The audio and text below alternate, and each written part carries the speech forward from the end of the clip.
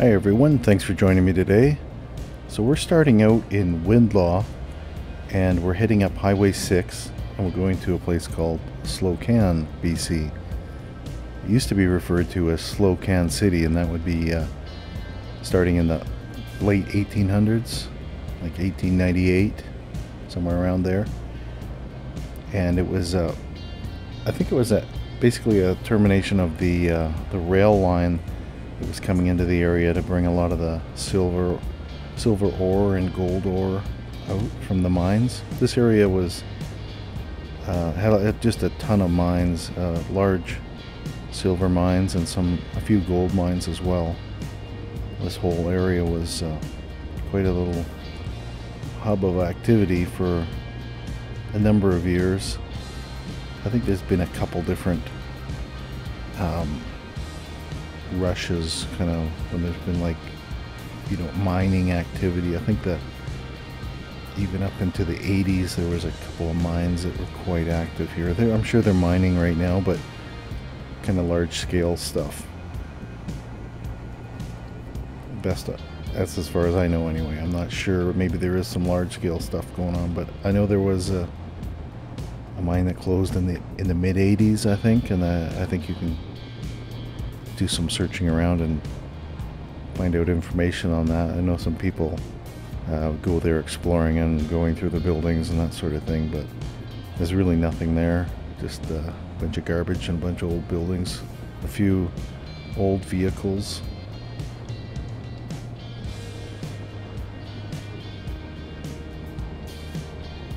Now, Slocan City is right at the southern tip of Slocan Lake.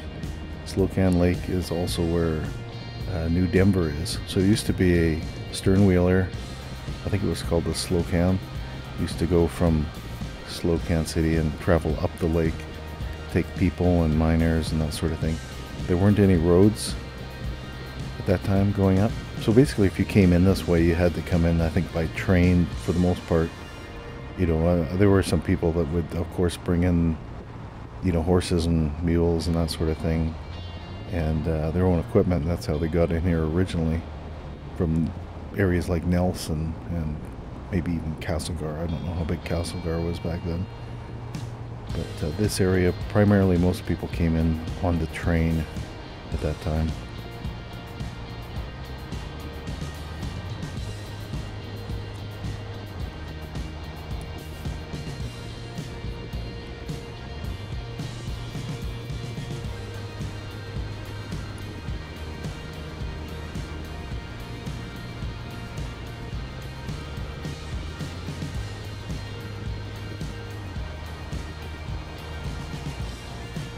So I mentioned the stern wheeler. Used to travel up to a place called New Denver. New Denver was connected by rail and by trail and that up to a place called Sandon, which was another big city at the time, and it went through uh, a couple different versions where it, you know, it burned down originally, and then it was rebuilt, and then uh, flood washed out. I think in the, uh, gonna say maybe the 50s. I think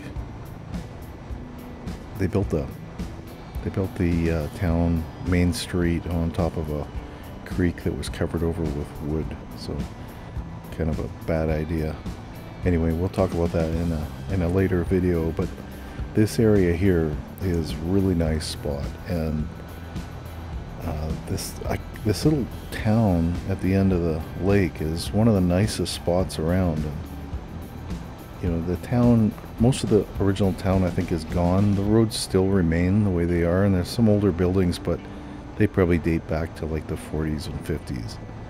The old hotels and all those kind of big buildings that they had built in the late 1800s, uh, they've all since, I think, fallen down or burned down or something.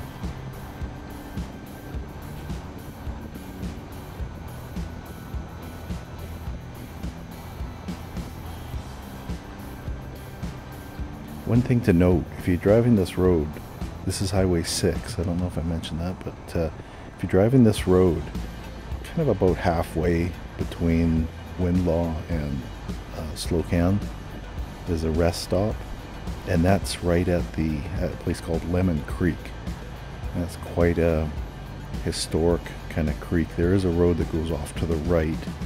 That's Lemon Creek Road, and it goes mount goes all the way up into the mountains and stuff. And a lot of the old mines are up there. So you know, if somebody wanted to go and explore, look at some of these old mines and the areas, there's lost treasures and all kinds of things in this area. That was uh, the center of a lot of the activity. But it's like it's very steep and very high up there when you get into where the mines and stuff are. But uh, it's quite interesting. Actually, I'll put a link to uh, a couple of videos. This old series used to run in BC called uh, Gold Trails and Ghost Towns.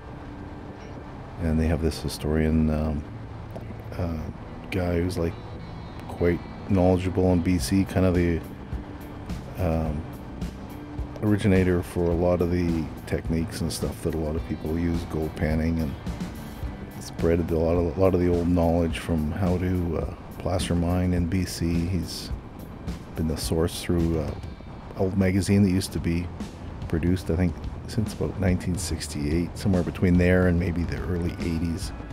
Canada West magazine. Anyway, his name was Bill Barlee, and a couple videos where he talks about this area and specifically Slocan City.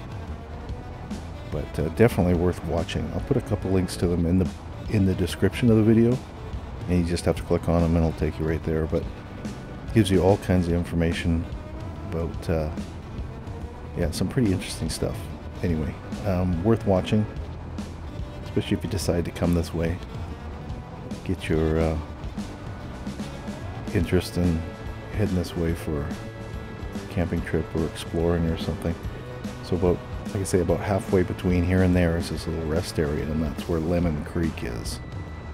You might read about that in some of the books and stuff of the area.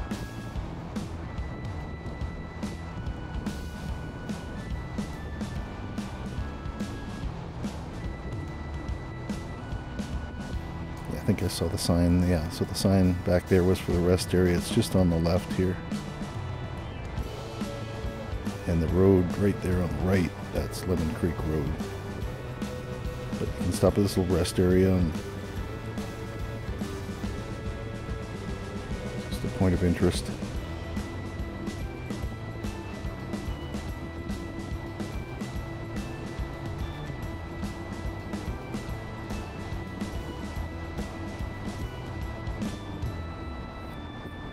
There was a book that the Slocan City Historical Society, I think this is what they were called, um, they put out in the uh, in the 80s. I think it was maybe uh, 85 or 86 or something.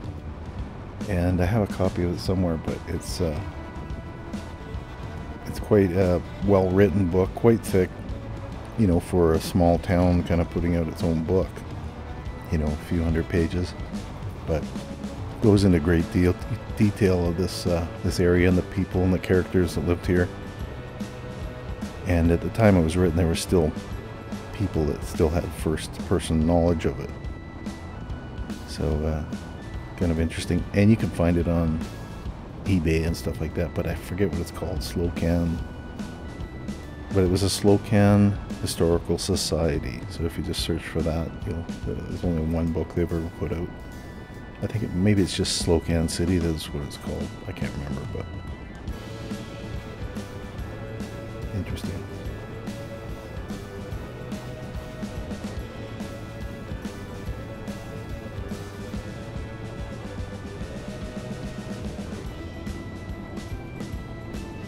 So at the end of Slocan Lake, of course, that's where the Slocan River starts, and that flows down towards the Kootenay River.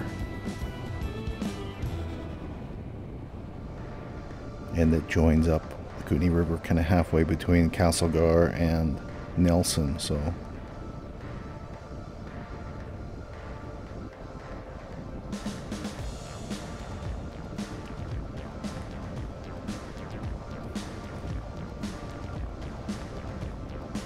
it's the beginning of October right now. If you were to come in here, uh, say March, you'd still have probably snow on the ground by May, I think uh, it would look very similar to this. Might be still some snow up in the top of the mountains, but they definitely get a lot of snow here in the in the winter.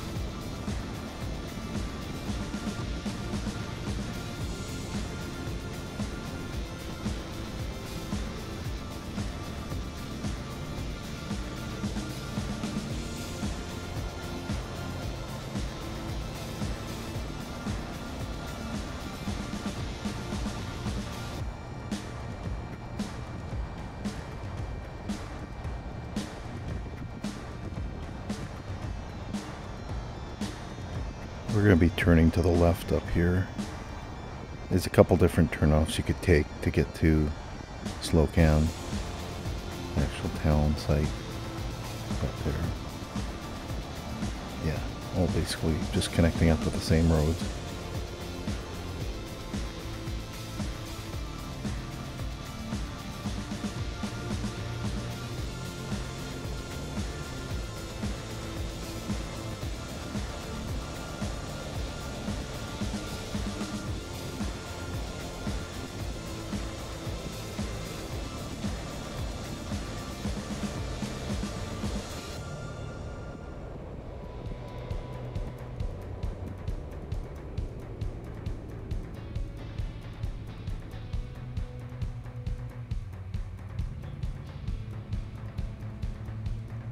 This is Slocan, kind of the outer edges of it. Now when we get down to kind of closer to the main part of town, it's uh, the streets are quite wide, and that was because they were uh, taking the wagons on and off uh, the rail cars and or you know loaded wagons on and off from the uh, paddle wheeler, taking them to the rail cars and that. So they didn't want to plug the streets up. So they're quite, it, the streets are quite wide in town. A lot wider than you think for an old town. That was my first impression when I came in here anyway, years ago.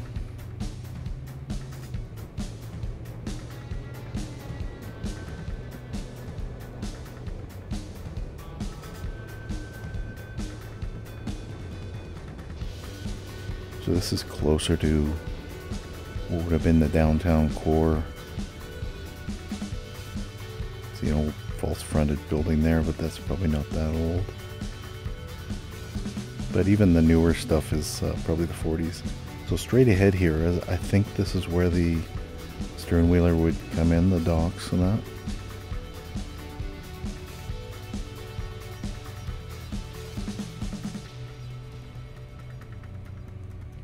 I don't know if you're allowed to camp here. Probably, probably not. I don't. I don't know. Some people might be able to get away with it, but we're just gonna go down here, uh, down to what's now a boat launch. I don't know. Maybe that was where the stern wheeler came in, but like I say, the roads are quite wide. This next one here to the left, I forget what it's called, but it's uh, it's quite a wide, wide road. But I think this is where we'll end this video. The next video, I might have a little bit more on this um, this old town, Slocan City. But other than that, thanks for joining me, and I'll catch you on the next one.